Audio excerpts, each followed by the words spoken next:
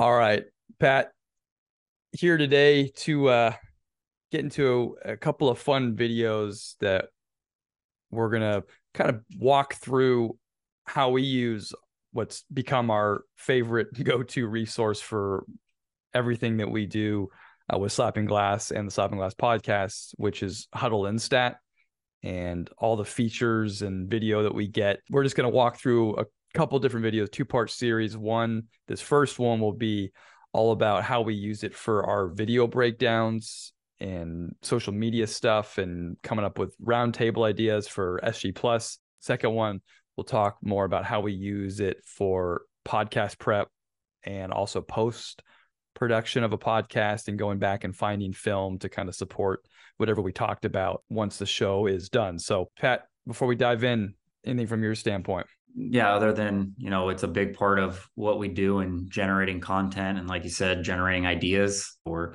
grateful to be working with Instat and have access to their product and excited to kind of show you a little look behind the curtain, how we use it and uh, the benefit that we derive from it in the most broad sense, how we like to use Hudl in terms of watching games and finding content, finding ideas, strategies that we see. The best example is if we have a team we want to watch or a league, uh, it's easily searchable. This has been one of our favorite things about Hudl Instat is just like the depth and breadth of all the countries and all the different leagues that you can look into. And I think we've you know, as you can see here, we've overused the search function on stuff quite a bit. This is just the tip of the iceberg.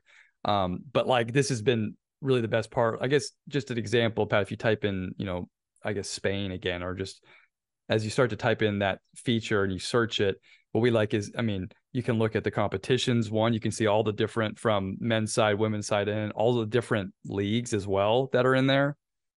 Um, and then if you go to the the teams tab, obviously then it has like youth teams i mean and we have friends around the world we've had on the podcast whatever that coach a you know certain country 17u team and sometimes this isn't the podcast prep one but we can watch some of their stuff on there if they have that film. So and then going to the players too um, like we'll discuss in a second how we used it for players. You know i know here's all the players with the last name spain but you can really search down into players as well.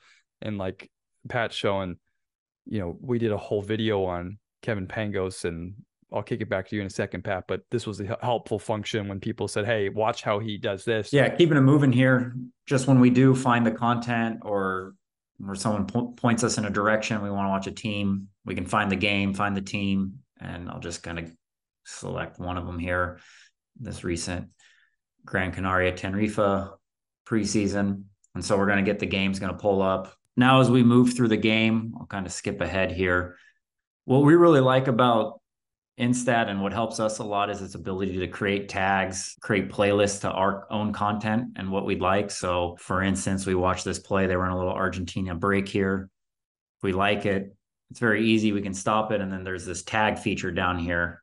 You click on it, and now we've obviously created a ton of tags and if I have Argentina break or transition break, I can click it, or we can create our new tag, clicking this plus button here. So we could choose the name of the tag we want for this action. We can type it in here, and then you can choose how much of the tag you want, you know, before or after, how much of the game film you want it to take. And then you would just simply add it.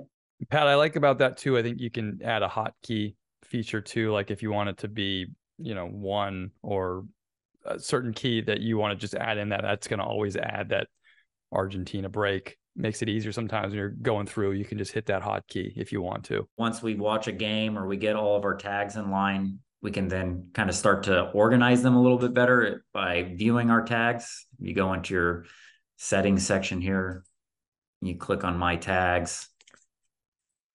It's going to show up all the tags that you've assembled throughout the game or weeks uh, in our case. All your tags by the tags you've created are on the left, or maybe the teams that are in that tag or the specific games. I know I've done a ton of ATO tags. So if I filter only, I want to see my ATO tags. They're going to all come up here. And you can go through them individually like such, and they'll play.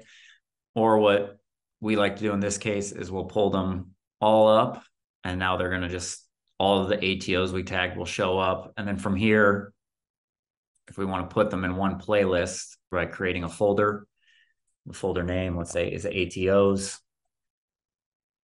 So we create it, it shows up here, and then I can just click and drag the ATOs that I want into this playlist. And then from there, once you're done with that, you can then again the same thing like tags, click on playlist.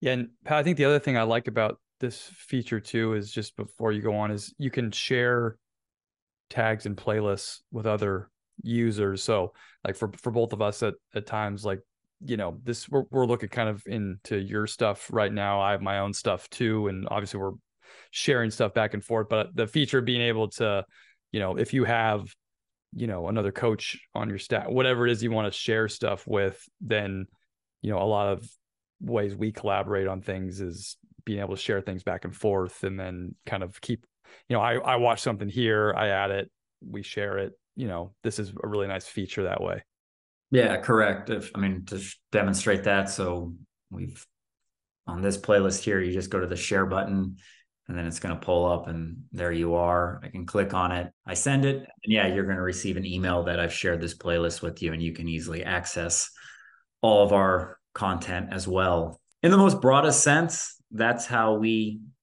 will use Instat for content generation, finding content, watching games, viewing games, and creating our own tags and playlists, which I said at the beginning is, I think, one of the features we really value the most. Just to add to your point, we've found this to just be probably the most user friendly when it comes to just tags, dragging stuff, dropping stuff. I think that's why we've gravitated so much to it because it's just intuitive as far as how these things are made. And that's been super helpful just for the speed for us too of trying to find clips, put lists together, share stuff, and then, you know, ultimately for us, obviously then creating content out of it.